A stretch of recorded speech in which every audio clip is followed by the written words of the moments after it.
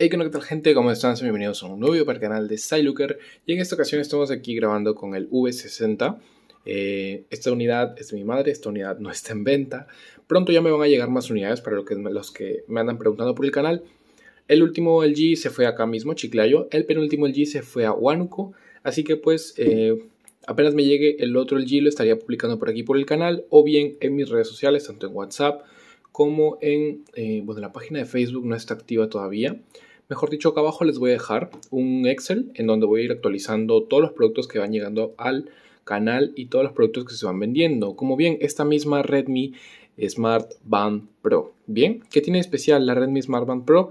Ya ustedes ya podrán ver que a diferencia, por ejemplo, de una Redmi, una Mi Band 6, una Mi Band 7, esta tiene un formato de pantalla cuadradito, que a muchas personas pues les parece mejor porque se puede visualizar mejor el contenido, no es esférica y pues cabe mucha más información en pantalla en sí. Y pues la verdad está bastante bien, está bastante buena. Ahorita está en inglés porque yo la tengo conectada a mi teléfono y la mayoría de mis teléfonos los pongo en inglés por una cuestión de aprendizaje del idioma y practicidad y porque los textos se ven más cortos, más concretos y son más fáciles de identificar. Para mí, ¿no? Bien, esta mi van ha estado rondando por aquí por mi habitación unos 2-3 días. Eh, la he estado usando aproximadamente 3 semanas y tenemos por aquí el 91% de batería todavía. Así que la verdad es que bastante bien. Eh, de la última semana que la dejé de usar, la cargué y la dejé ahí. Y pues como ven, solamente en estos 4 días que he andado por ahí, eh, pues he bajado un 9%. Entra en un stand-by bastante brusco, diría yo, en el cual si la dejas de usar por yo que sé una semana, se queda ahí y ya no baja más de porcentaje, salvo 1% cada dos días o así. Así que bastante bien. En cuanto a funciones que podemos destacar, aquí no se ve, pero ahí en la pantalla me dice eh, Tap to Turn Off. Es muy potente, aquí se ve. Es potente, ¿vale? Es muy potente, entonces este, no se puede ver. Ahí está, Tap to Turn Off. Eh, básicamente este icono, pero pues con toda la luz potente de la AMOLED. Vamos a ver, mira, por ejemplo aquí, esa sería la luminosidad que ejerce que puede no parecer mucho, pero es que aquí tengo un foco directamente apuntándome, tengo el foco de encendido del de arriba, pero pues para la noche sirve bastante, bastante bien, ya que, eh, por ejemplo, yo que sé, te levantas a tomar agua a medianoche, eh, o por alguna razón te despiertas y buscas algo pequeño, con esto lo vas a encontrar sin duda alguna. Es, una linterna y no de una pantalla IPS, sino de una pantalla AMOLED, así que es bastante útil. El tema de las alarmas, me hubiera gustado que se pueda configurar desde aquí. Lamentablemente se configura desde la aplicación. También tenemos el modo eh, Do Not Disturb o No Molestar. Tenemos el Always On Display. Este es un wake for 5 minutos, creo que se queda ahí. O sea, básicamente la pantalla se queda encendida por 5 minutos y no se apaga. Luego tenemos en ajustes.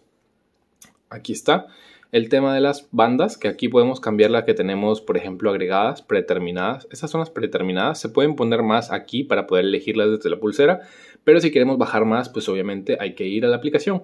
También algo que me gusta de esta banda es que tiene el brillo automático. No muchas pulseras o no muchas bandas lo tienen, así que es un puntazo ahí para la Redmi Smart Band Pro.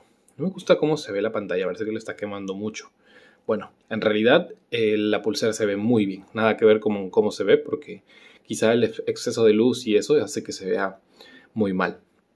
Ya pronto me llegará un Note 20 Ultra y vamos a probar ahí el tema de las cámaras para ver si lo dejamos ese para el setup para poder grabar aquí porque ustedes saben que siempre estoy cambiando de equipos eh, y no por alardear ni por presumir ni nada, simplemente es porque los equipos que traigo y reviso se venden, entonces tengo que automáticamente pasar al siguiente, probarlo, hacer su review y también venderlo.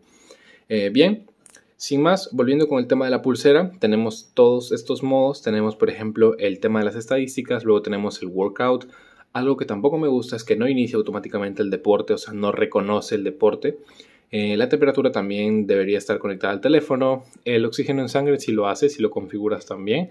Eso también lo puedes configurar para que te mida el tema de los BPM del tu latido del corazón.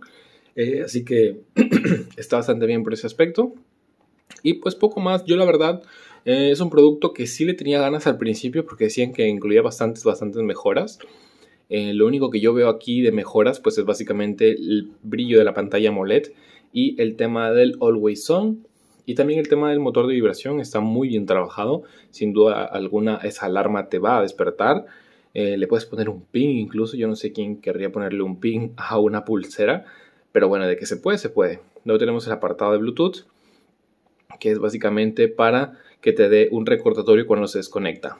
En tema de pantalla tenemos el Always on Display aquí para que ustedes lo puedan ver. Nos da la advertencia de que pues obviamente se va a ver afectada la batería y cuando pasen algo de 5 minutos de 5 segundos, perdón, ahí como puedes ver nos aparece este Always on Display. Y la verdad está bastante bien, no me puedo quejar por el tema de la pantalla, está bastante bien y también es programable para que por ejemplo de tal hora a tal hora, aquí está creo, para que nos diga a qué hora acaba y a qué hora termina. Y esto, ojo, que lo podemos configurar desde la pulsera.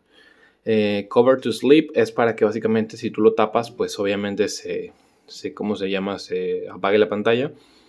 Y por lo demás, eh, panel de notificaciones en la parte de arriba. Obviamente aquí no puedes este, contestar mensajes ni nada, solamente es para que veas quién te está llamando, para que veas quién te manda un mensaje y ese tipo de cosas. Puedes elegir también las aplicaciones que te pueden mandar notificaciones a la pulsera y cómo mostrarlas, si es que se muestra todo, si es que se muestra nada más el icono y también si es que se muestra pues obviamente quién te está mandando. No sé si se puede leer el mensaje completo, eso sí no lo he probado. Yo sinceramente estos productos...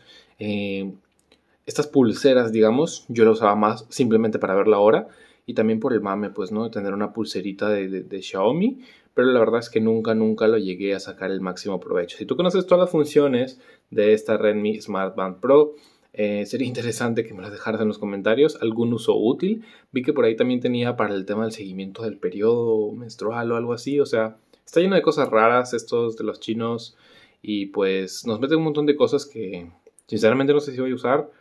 Lo que les digo como más me gusta son las alarmas, la linterna y pues también la posibilidad de tener el Always. Está bastante bonito, esta es una pulsera construida pues en plástico generalmente, tiene su vidrio por acá, el vidrio es un poquito curvo, así que cuídenlo porque una reparación de este vidrio te saldría prácticamente como el precio de la pulsera, así que no creo que sea barato cambiarle el glass a una AMOLED de estas. Em, y pues nada, es súper práctica. Miren, yo me la pongo así para que vean cómo queda mi muñeca. Ahí está no es excesivamente grande, pero tampoco es muy muy pequeña, con lo cual te puede quedar bastante bien si es que lo que buscas es un reloj distintivo y bastante bueno. No trae GPS por lo que vi en, las reseñas y pues la verdad es que está interesante cambiarle los watch faces. Por ejemplo, a ver, vamos a ver. También se pueden cambiar de esta manera, manteniendo presionado. Podemos deslizar entre los que tenemos aquí. Como les digo, pues obviamente en la aplicación tenemos más. Podemos poner nuestra foto incluso y con esto ya podríamos cambiar el watch face. Deslizando hacia acá tenemos los diferentes modos, deportes, actividad, eh, el stats, el latido del corazón, el SPO3, el sueño, también te mide el sueño y también tenemos el eh, botón literalmente de cómo respirar para que te dé un minuto de inhala, exhala, inhala, exhala y pues te calmes o algo así y el control de música. Creo que también funciona como disparador de, fotografías pero pues la verdad yo que no, no le veo mucho uso a este tipo de cositas. Son cosas, eh, no digamos vitales, pero puede que para alguien le resulte necesaria. Así que nos vemos en un próximo video. Yo soy Looker y recuerden que este es otro producto más que está a la venta en el canal. Obviamente por un precio menor al que se adquirió. Este costó algo de 2.20 en replay. Eh, la verdad me pareció un poquito elevado el precio. Pero pues yo creo que por 150 de segunda mano con unos 3 semanas de uso puede salir bastante bien. Si es que a alguien le interesa, ¿no? Porque también está, he visto la Mi Band 6 ya en segunda mano por 130 o por 120 incluso, así que esta es bastante mejor, según lo que tengo entendido. Así que pues yo creo que un precio de 150 no sería para nada descabellado. Aparte de que tiene pues eh, dos correas de repuesto que vienen por ahí y el tema de su cable, el cablecito con el que se carga de manera magnética y obviamente sus manuales, su caja, todo eso está por ahí. Así que nos vemos en un próximo video. Yo soy Looker y hasta la próxima.